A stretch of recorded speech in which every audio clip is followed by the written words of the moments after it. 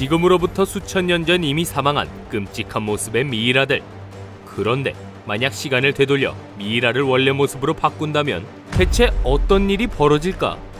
여기 대부분의 한국인들이 몰랐던 굉장히 충격적인 비밀이 드러날 거라는데 자 지금부터 이 비밀을 파헤치기 위한 시간 여행을 시작해 보겠다. 딱 집중. 자, 첫 번째 시간 여행 타겟은 인류 역사상 가장 아름다운 초절정 미녀 되시겠다. 이집트 최고의 미녀라고 하면 다들이 클레오파트라를 떠올릴 텐데 하지만 클레오파트라 못지않은 초특급 미녀가 한 분 더 계셨다. 그게 바로 이 네페르티티라는 누님이셨다.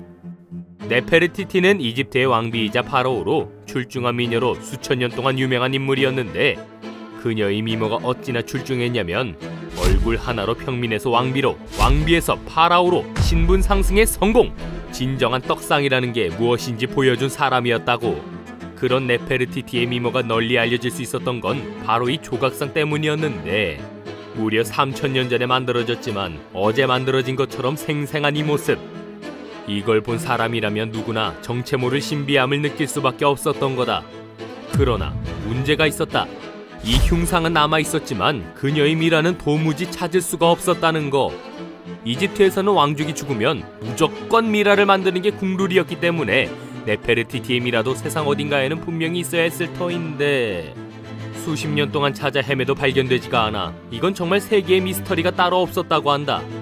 그러던 어느 날 이집트 왕가의 한 무덤을 발굴하던 고고학자들은 말할 수 없이 심각하게 훼손된 미라를 발견하게 된다. 거의 뭐 갖다 버려야 되나 싶을 정도로 망가진 미라였지만 열정 넘치는 학자들은 그걸 붙잡고 끝까지 연구를 하게 되었고 여기서 충격적인 사실이 드러난다. 바로 이 폐차 직전의 미라가 전설 속의 미녀 네페르티티의 가능성이 매우 높다는 사실이 밝혀진 거다. 학자들이 이 미라의 두상을 분석한 결과 네페르티티의 흉상과 아주 비슷하다는 결과가 나왔다는데 그렇게 밝혀진 네페르티티의 현실 얼굴은 바로 이런 모습일 거라고 추측되고 있다고. 음, 실망했어? 나도 그래. 역사상 최고의 미인이라는데 왜 내 눈에는 아이유가 더 이뻐 보이냐? 뭐 미의 기준은 다 다를 수 있는 거니까. 아무튼 세계의 미인이라는 네페르티티의 미라는 전 세계적으로 큰 화제가 됐고 현재는 아예 이집트 정부가 직접 나서서 네페르티티의 실제 무덤을 찾아 헤매고 있는 상황이란다.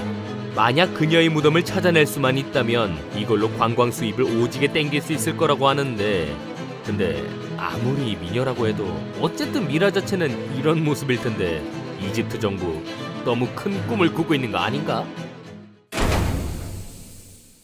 그럼 분위기를 바꿔서 오늘의 두 번째 미라로 들어가 보자. 이번에는 전 세계 미라 중 가장 미스터리하다는 절규하는 미라를 보여주겠다. 지금으로부터 약 140년 전 이집트.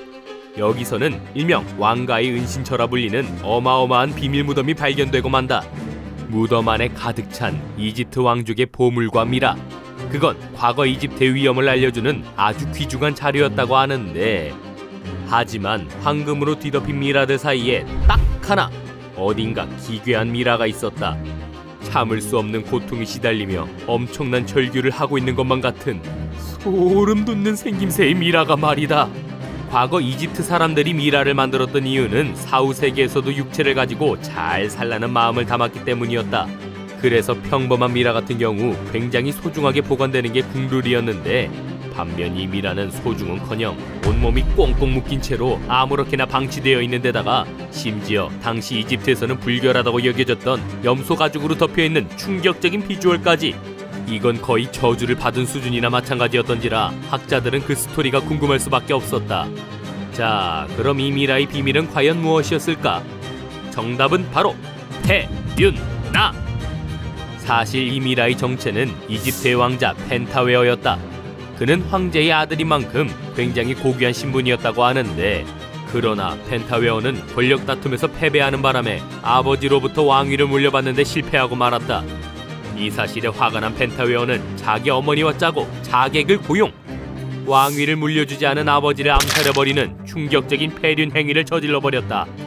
자, 여기까지는 성공적이었으나 문제는 왕위를 물려받은 진짜 황제 람세스 4세가 아직 남아 있었다는 거. 아버지의 죽음에 분노한 람세스 4세는 대규모로 군대를 보내 반란을 진압, 펜타웨어를 순식간에 때려잡았고 결국 그를 처형해버리고 말았다고. 그 이후 펜타웨어의 유해는 반란과 폐류를 저지른 죄를 물어 아주 처참하게 미라가 되어버렸고 그가 생애 최후에 지은 고통스러운 표정은 그대로 미라에 박제되고 말았다는 소식이다. 사망 당시 펜타웨어의 나이는 고작 20세로 정말 꽃다운 나이에 죽었다는 걸 알 수 있는데 살아있을 때 아무리 나쁜 놈이었다고 해도 죽은 뒤에는 좀 편하게 쉬어야 할 텐데 그마저도 못하게 만들어버린 람세스 4세의 위험 이건 사후 세계의 존재를 믿었던 이집트인들에겐 정말 최악의 형벌이었던 것 같다. 오늘의 마지막 세 번째 미라는 바로 우리나라의 미라다. 미라 하면 무조건 이집트만 생각했겠지만 넵! 사실 우리나라 역사에도 전설적인 미라들이 있었다는 거. 그중 가장 대표적인 첫 번째 사례는 바로 이 파평윤 씨 미라다.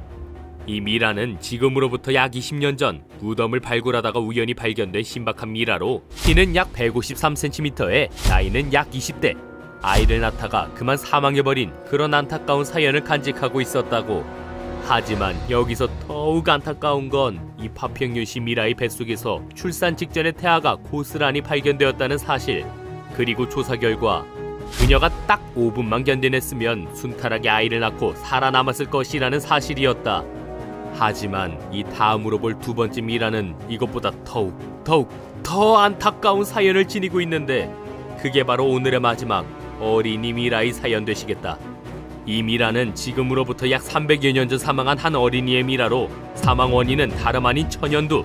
이 조그만 크기를 보면 알 수 있겠지만 사망 당시의 나이는 고작 5살로 굉장히 어린 나이에 세상을 뜬 것을 알 수 있었다고. 이 어린이 미라는 발견됐을 당시 아주 한 땀 한 땀 정성스럽게 바느질한 옷을 입고 있었다는데 이렇게 정성스럽게 옷을 만든 사람은 다름 아닌 아이의 부모로 추정되었다고 한다.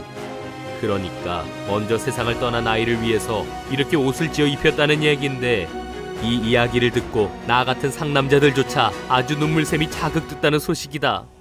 자, 아무튼 이 미라들을 보고 나서 우리나라에도 미라를 만드는 풍습이 있었나? 라는 궁금증이 솟아났을 텐데 이들이 미라인 건 확실하나 사실 구체적으로 들어가 보면 이집트 미라와 우리나라 미라는 서로 전혀 다르다고 한다.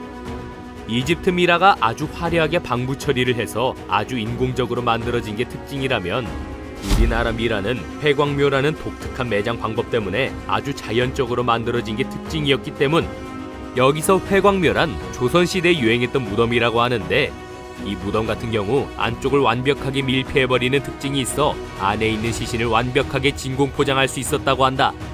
그 결과 아무런 처리도 하지 않은 시신이 수백 년이 넘는 시간 동안 안전하게 보관할 수 있었다는 사실. 우리 조상님의 포장 기술.